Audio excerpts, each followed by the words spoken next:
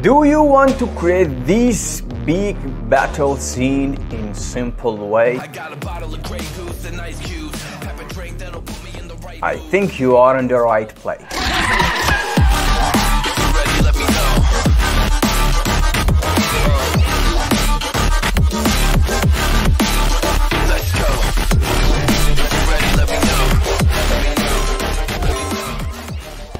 Hi everyone, this is Dyson. Welcome to my channel. Without further ado, let's begin. You see, I have wanted to do this for long, long time. You see this amazing crowd simulation in Avengers Endgame battle scene? You see that? That's huge, you probably know that. It's not simple ragdoll simulation, it's not simple truck thrown at the crowd in uh, Houdini. You see that? So to be honest, that's why I started this Houdini crowd journey. I want to know this system. This system is capable to do this such a fighting scene. I don't know. I guess we're gonna find out in this video. Okay, for that, let's analyze a fighting scene. of course, this is a footage online. I get that online. This is actual fight festival or a game. I don't know. So you see, this crowd uh, pick opponent and going towards that opponent and you see this guy this guy man chill out. That's how much this fight is serious you see that? So let's get serious. Uh, the, the, the opponent will choose uh, sorry the, the the crowd will choose opponent first and going towards that opponent and of course they will change the state to fighting scene from run to fighting scene you see that? Man this guy. And uh, after that if the opponent knocked out the, uh, the, the crowd or the agent will go to ideal state. You see that's the whole purpose of crowd or a fighting battle scene you see? So let's see what we have here uh, in Houdini. As you can see I load up this agent from Mixamo of course. Uh, I uh, I create a locomotion specify the hips simple. I load up a bunch of uh, clips let me show you. For instance fighting ideal uh, IDL sorry. And the run clip let me show you. This is a run and this is the fighting you see? And let me see this is the run. It's zombie run clip. It's okay for this demonstration. And we have IDL or normal state you can say. See that? So this is simple. I uh, create this uh, agent collision layer for the ragdoll of course. And you see that? And of course I have this agent configure joint for the limitation of the joint. This is ragdoll stuff. And let me show you this test ragdoll simulation. Of course all that it's available uh, on this playlist of the crowd if you are not familiar. So we have something to work with. So obviously we need two agents to interact or fighting together. Let's uh, do that. So uh, in in first agent of course we need crowd source to instantiate that you see. We have a crowd source and instead of this uh, normal uh, shape formatting or this alignment. I, I want this line for example I want uh, the line of this agent. So I create a line and yeah I uh, specify this number. For example 5 agent it's good. I want to simplify this setup you see. I want to uh, get this uh, fighting system in Houdini.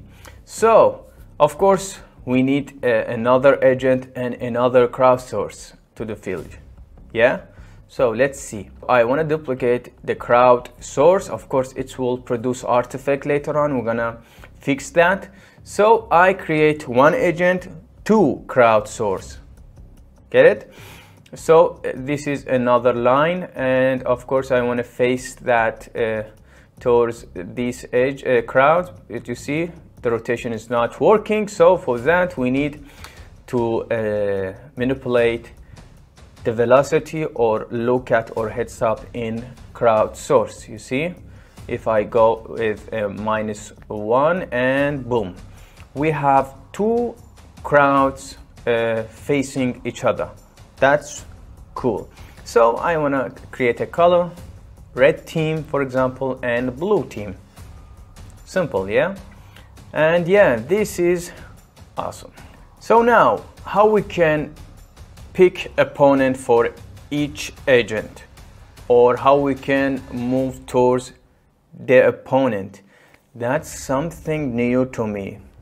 Let's cross finger. Let's see it will be done in Houdini or not. So we have these two crowdsource and now let's simulate that using these shelf tools. This is amazing tools and let's uh, select the crowds and we need the run fight ideal and ragdoll. So now let's see what we have. Okay. Oh surprisingly it's working. You see they are moving towards each other. So with that if you like this kind of video please hit the like button and subscribe for more content share it if you want. This is, will be awesome. So of course the crowd is sliding in DOP network so we need to enable locomotion for each clip. That's amazing you see? Now we have natural animation but wait a minute it's not working. They are avoiding each other. Okay that's problem. Let me col uh, color this crowd source and let me check if that's working or not. For example the blue team I want an IDL or normal state to that. And you see cool but it's avoiding each other. That's problem. For instance what what if we have this format or this alignment of the crowd? You see let's see. It's not going for opponent okay I guess this is a problem. How we can how we can uh, fix that? Let's see. So uh, let's see what option we have. Uh, of course in sub network we don't have any target. Maybe target or anything in here. So nothing in crowd in DOP network. Let's see. We don't have any target thing or any agent option in here? That's a problem I guess. Okay maybe let's use crowd path uh, in this tutorial I use amazing crowd path you see? This is amazing you see that? And I use crowd path for that of course you can see it in this one.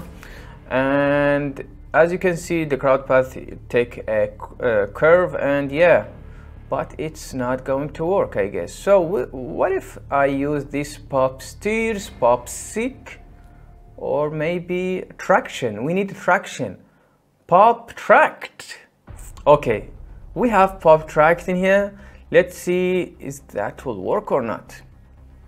That will give us something. So we have traction for this point. You see, if I change that, the crowd will, will follow this point. Amazing. But we need for each agent, do we have any option for that? You see, for example, we cannot uh, manually uh, uh, change the position for each point. So what we have in here, we have surface point, we can use DOP object, amazing. Let's use that. So that's amazing. And let's see DOP object including the red team, of course. And it's not working. Yeah, long story short. so that's the problem. What we're gonna do? Houdini crowd system. Let's see.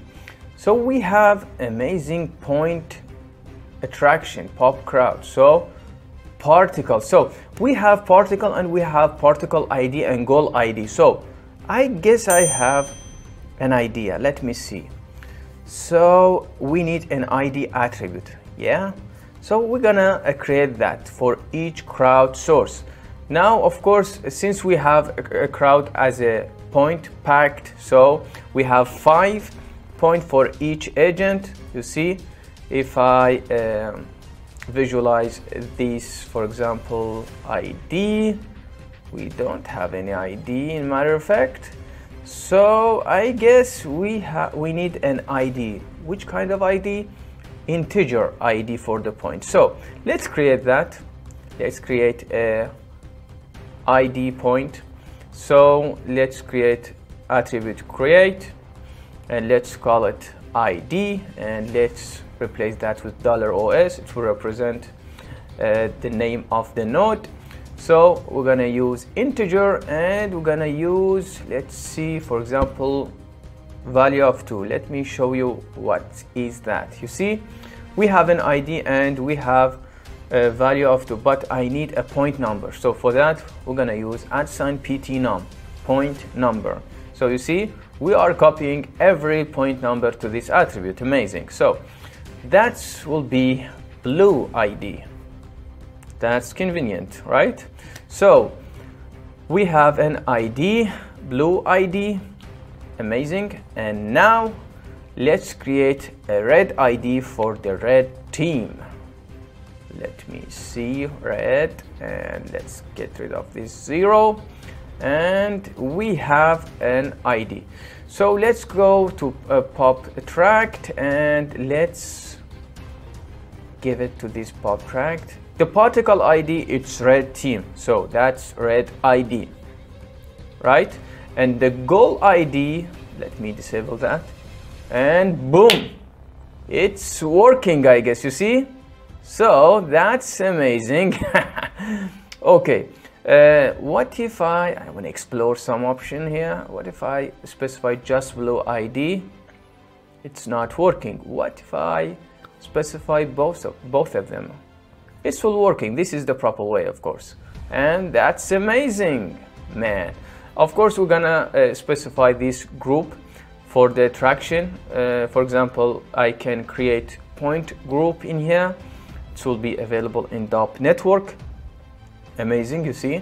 This is a point group. For example I wanna uh, name that a red team.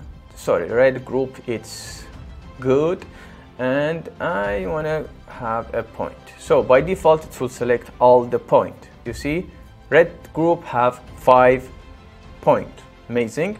This is five agent and this is a blue group and we have a blue and red group. So what if I specify this in here?